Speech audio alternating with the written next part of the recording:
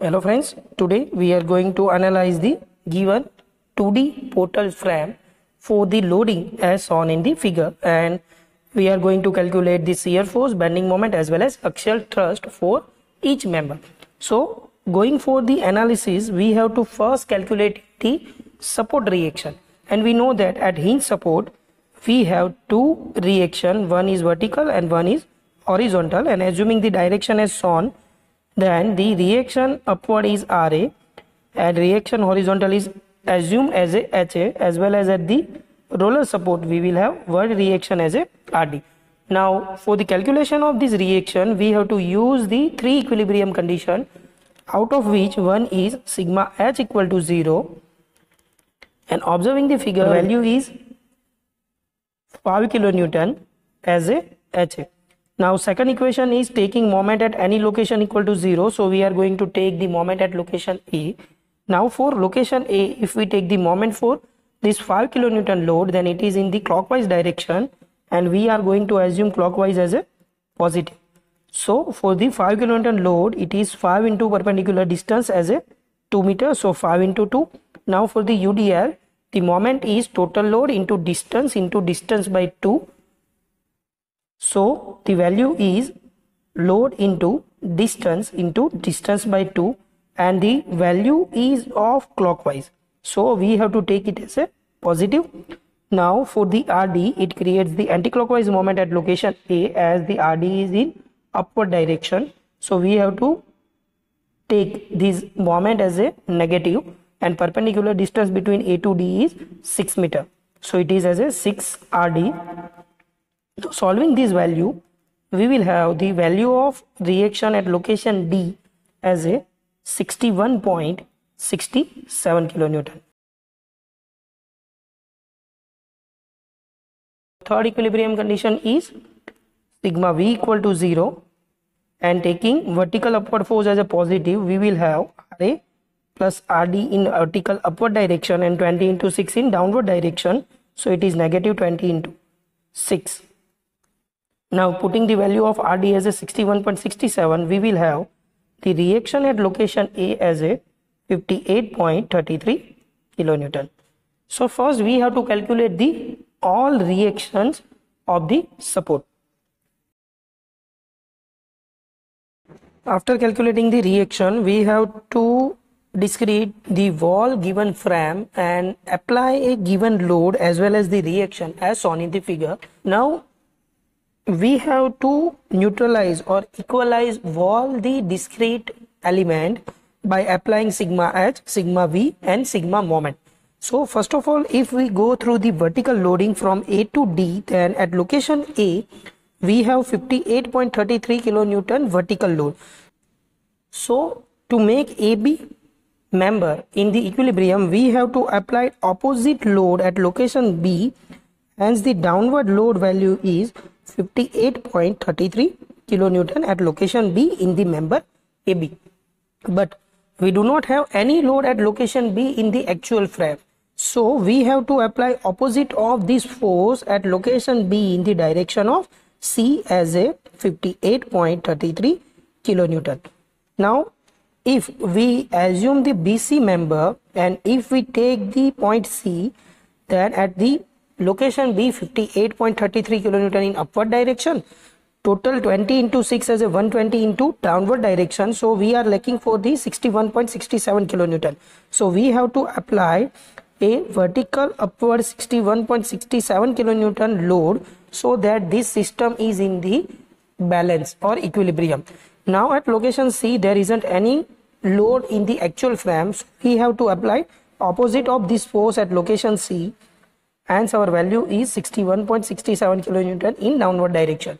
Now if we observe at location D, the downward load is 61.67 and upward load is 61.67. So total load is 0. So this frame is balanced due to the vertical loading. Now we have to take a horizontal loading and for that if we observe 5 kilonewton load at location A as a reaction then at E also 5 kilonewton horizontal load which is neutralize this system. So we do not have to apply any horizontal load at location b. And if we do not have any horizontal load at location B then the system is already in the equilibrium. Now taking this load we have to calculate the moment. So let us going for the moment. We will have now at location B if we calculate the moment then our moment value is 5 into 4 in the clockwise direction. So total value is 5 into 4 as a 20 and at location E it creates anti-clockwise moment. So the value is negative. 5 into perpendicular distance as a 2 so total value is 10 kilonewton meter. But this value is positive. It means the at location B total generated moment is 10 kilonewton meter clockwise. But we have to equalize this system. So at location B we have to apply anti-clockwise moment as shown and the value is 10 kilonewton meter now as we calculated the vertical horizontal load we have to apply opposite of this load at location B. Similarly we have to apply opposite of this moment at location B as there isn't any external moment at location B. So due to the moment anti-clockwise 10 kilonewton meter at location B in the span AB we have to apply clockwise moment of value 10 kilonewton meter in the span B to C at location B now, if we calculate the moment at this location as a C, then 10 kilonewton meter in clockwise direction, so it is positive. Now 58.33 into 6 in the clockwise direction, so it is positive. 58.33 into 6. Now the 20 into 6 into 6 by 2 in anti-clockwise direction due to the UDL, so it is 20 into 6 into 6 by 2. And if we calculating this value, we will have the answer as a 0 it means we do not have to apply any moment at location C and C support is in equilibrium so we have to not apply any moment in this part C to D. Using this value we have to draw a axial thrust diagram first. An axial thrust diagram is the axial load diagram and in which we have to consider a load along the largest dimension of the given frame. So for AB 58.33 kilonewton which is compressive load. So in a to b we have to draw a compression diagram. Now b to c there isn't any horizontal load or along the length. There isn't any load. So the diagram is zero. Also for the cd line if we observe then 61.67 compressive load is there. So for ab and cd vertical member we have to draw a compressive diagram for the axial thrust diagram which is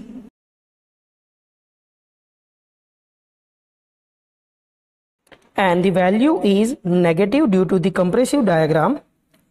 In A to B member, our value is 58.33 kilonewton and for C to D, our value is 61.67 kilonewton and for B to C, our diagram is 0. So this diagram indicates the axial thrust diagram for the given frame. Now using the calculated value, if we draw a shear force diagram, then at location A, 5 kilonewton upward load is there so we have to plot a 5 kilonewton in upward direction. Now between A to E there isn't any load. So we have a horizontal straight line. Now at location E 5 kilonewton downward load is there. So the value is 5 minus 5 as a 0 and there isn't any load. So we have to draw a horizontal straight line. So this value is 5 kilonewton in positive direction as a shear force value. Now for B to C span, if at location B 58.33 kilonewton is in the positive. Now from 58.33 to the point C, we have a 20 into 6 as a UDL downward load. So 58.33 minus 20 into 6 as a minus 61.67. So from location B to the 61.67 downward or negative load, we have to draw a inclined straight line as per the rule of shear force diagram for the UDL and if we observe the CD line there isn't any load which is in the shear so our diagram for CD is straight line. Now in between B to C there is a zero shear force. It means at this location we must have the maximum bending moment. Now total span is given as a 6 meter.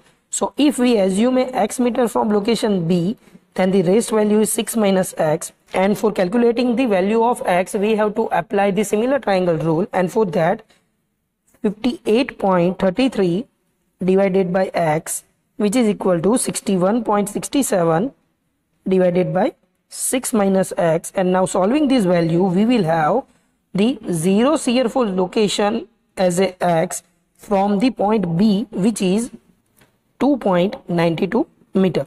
So from point B at location 2.92 meter we will have the maximum bending moment. So first we are going for the calculation of maximum bending moment. Then at location 2.92 meter from the B if we take a moment then 58.33 into 2.92 in clockwise direction. Plus 10 kilonewton meter clockwise moment minus due to the UDL of 20 kilonewton per meter which is in anti-clockwise.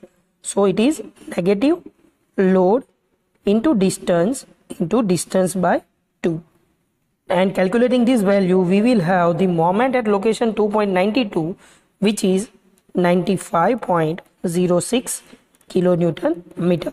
Now this value is of positive. So we have to apply the anti-clockwise moment in span B to C in the direction of B. Now using this value we have to draw a bending moment diagram.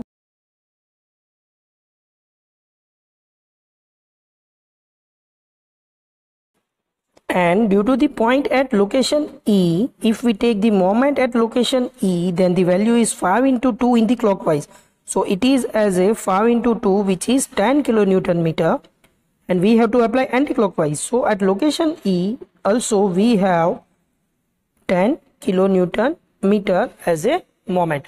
Now using this value we have to plot a moment diagram and observing the arrowhead here the 10 kilonewton meter in the downward direction. So we have to do a downward value as a 10 at location E also 10 in the downward or anti-clockwise. So in the downward direction and at location A the diagram is 0 so we have to connect this three line as a where the value is 10 kilonewton meter. Now observing B to C line we have 10 kilonewton meter clockwise moment or the arrowhead in the downward direction. So 10 in the downward at location 2.92 we have a maximum value of 95.06 let us assume as a 95.06 value and at location C the value is 0 now in actual frame the B2 C span is loaded with the UDL so we have to connect this three point with the curve. So our diagram is and for C2D our diagram is 0 as there isn't any moment. So diagram indicates the bending moment diagram for the given frame in which the downward diagram for the bending moment is of the positive value. So thus we can calculate the shear force diagram, bending moment diagram and axial thrust diagram for any given portal frame which is determinate frame using three equilibrium condition. Thank you.